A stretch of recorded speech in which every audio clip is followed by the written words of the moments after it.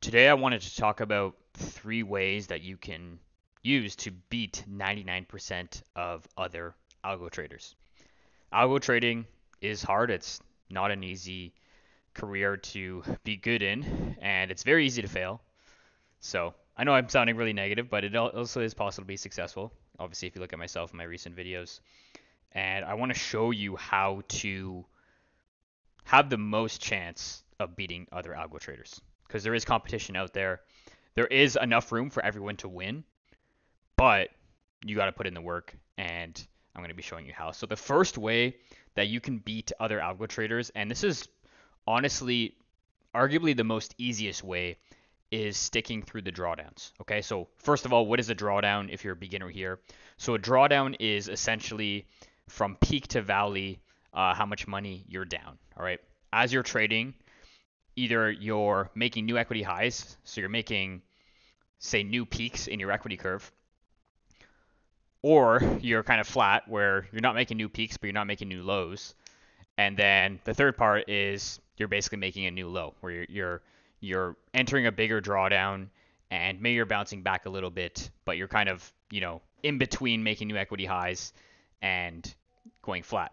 So sticking through the drawdowns is how you can beat other algo traders because so many algo traders give up. All right. They get into a 5, 10% drawdown, they get impatient, and they stop trading.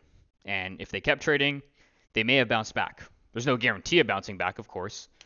But from my community, from what I've seen doing this for so long, you usually bounce back. If you're building good systems, you do bounce back and you get out of that drawdown. Either you make new equity peaks or you get very close to your equity peak.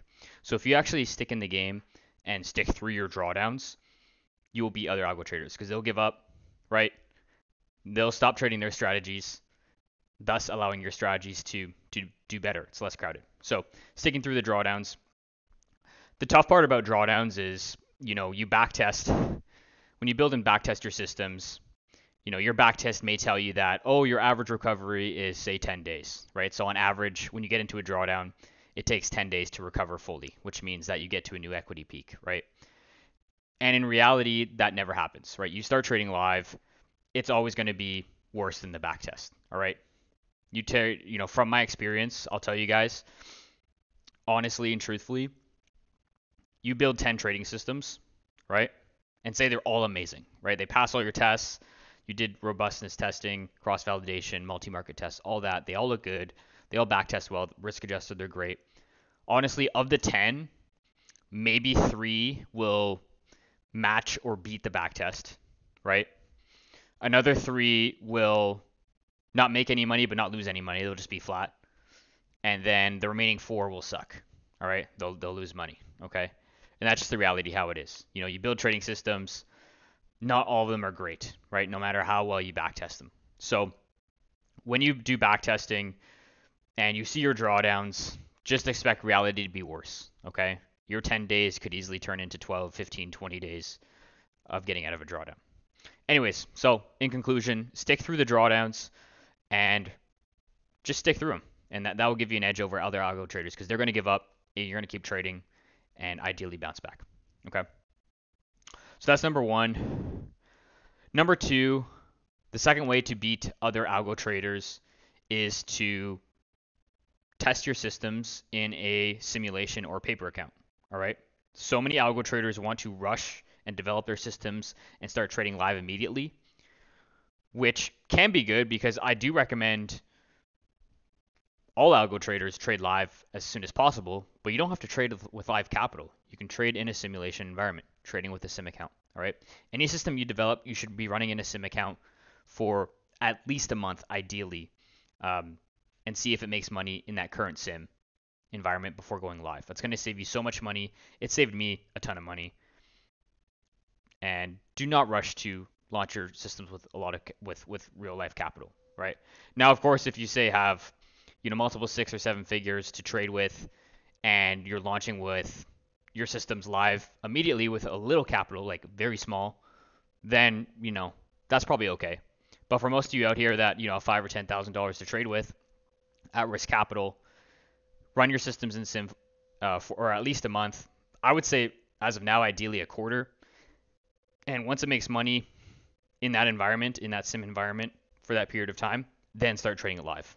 Do not rush from back testing, developing a system to start trading live. It will cost you money. So, step number two on how to get ahead of most algo traders is run it in a simulation environment and have it make money before trading it live. All right, so that's number two. The last step to get ahead of algo traders is to trade a static contract size. All right, and this is a controversial topic. Many people have other ways of trading position sizing. Personally, I have not found success in, you know, having a complex position sizing system. All right. When you build your trading systems, obviously you need to know how much capital is required to trade that portfolio of systems. Usually from a margin perspective, you take the, the total margin needed to trade those systems plus, you know, some type of drawdown calculation. But from my perspective, from my experience, you know, trade all your systems equally in terms of sizing. Don't try and add martingale to one system or add contracts in one system and decrease contracts in another system. It just never works out. I've tried every way around it. And maybe I'm stupid, maybe I suck, but I've never found success. I found success trading static contracts for each of my systems, right? So, so you have 10 systems and you have enough capital to trade three contracts each. When I say contracts, obviously you guys know that I trade futures contracts. Trade three contracts each for all your systems. Don't try and trade four of one, three of the other, seven of the other. It just won't work out. All right. You're you're essentially making a higher bet on an individual system. And when it comes to randomness at play with live markets, it, it never works out. So trade a static contract size. And if you're diversified enough, which you should be, maybe this is bonus, this is obviously diversification. You be, should be trading all types of markets. If you're diversified enough, this should result in success. All right. If you got 10, 10 live systems and you're trading everything from stock indices to metals, energies, you know, agriculture's interest rate products, et cetera, et cetera, that diversification plus the static contract size will allow you to have the highest chance of success. All right. So those are the three ways to beat other algo traders. Number one, stick through the drawdowns. Number two, running your systems in a simulation environment before trading live, and it has to make money in that sim before going live. And lastly, number three, don't have a complex position sizing system. All right, trade everything statically, and obviously, bonus have diversification in your trading systems. Don't have 10 trading systems on NASDAQ. I used to do that, and it doesn't work. Well, long story short, it does work, but it, you become so correlated that during rough times your drawdowns are going to be much longer than you want it to be, and it's very, very, very tough to handle. So have diversification in your portfolio of automated trading systems. If you want to learn more about automated trading systems, trading bots, and how to b- build good trading systems, see the links in the description below.